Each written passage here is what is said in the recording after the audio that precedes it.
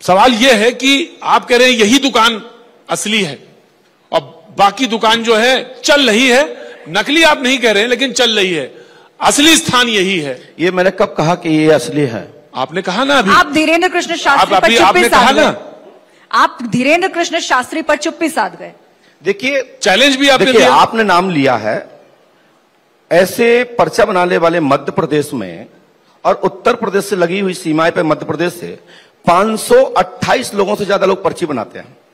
तो हमारे लिए तो सभी सरकार है परंतु सत्य कोई ही स्थापित रहे तो सनातन अमर रहेगा। सनातन जी सव- सवाल का जवाब सीधा सीधा दो मतलब ये बताइए आप कि दूध क्या है और पानी क्या है?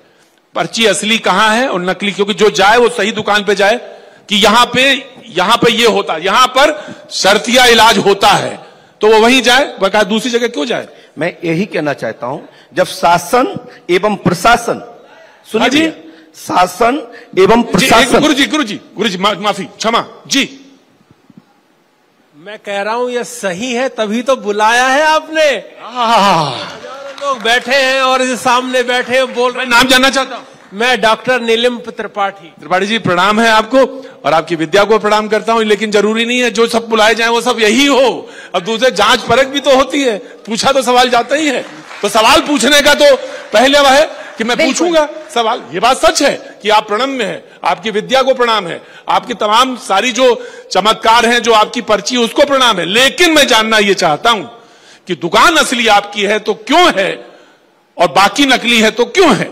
देखिए मैं फिर पुनः कहना चाहता हूँ मेरे पास कितना समय मुझे आप लोगों के द्वारा निर्धारित। मैं, हम अपनी बात को काटना नहीं चाहते, न मैं अपनी बहन की बात काटना चाहता हूँ, न मैं आपकी बात करना चाहता हूँ, अपनी बात रखना चाहता हूँ क्योंकि जो जैसा देखेगा, जो जैसा सुनेगा, वो उसा ही मान लेता है इसलिए मैं ये नहीं कहना चाहता हूँ कौन असली है, कौन नकली है, उसका परीक्षण होना चाहिए, शासन, प्रशासन को समस्त विषय के विशेषज्ञों को विद्वानों को एक मंच पे आकर के लेकिन चमत्कारों और दिव्य बातों को कसौटी पर कसेगा कौन? आप भी चमत्कार की बात करते हैं आप कहते हैं मैं मन पढ़ लेता हूँ वो भी कहते हैं मैं मन पढ़ लेता हूँ।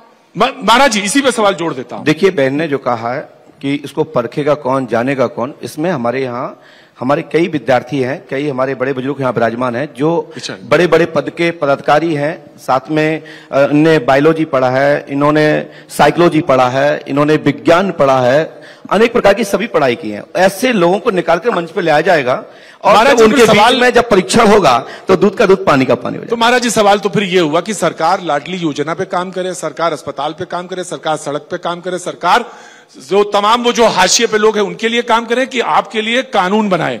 कि वो लोग जो हैं वो जो असली दुकान खोले उन्हीं के लिए कानून बनना चाहिए। आप कह रहे हैं यू आर सजेस्टिंग कानून बनना चाहिए। जब अभी कोरोना आया तो अच्छे अच्छे मंदिर याद आ गए अच्छे अच्छे गुरु याद आ गए जहाँ डॉक्टरी दवा नहीं थी तो तब भी इलाज चलता रहा। और लोगों ने ऐसे ऐसे उपचार ग्रहण किए हैं जिनके कहीं रिकॉर्ड में नहीं था कि वैक्सीन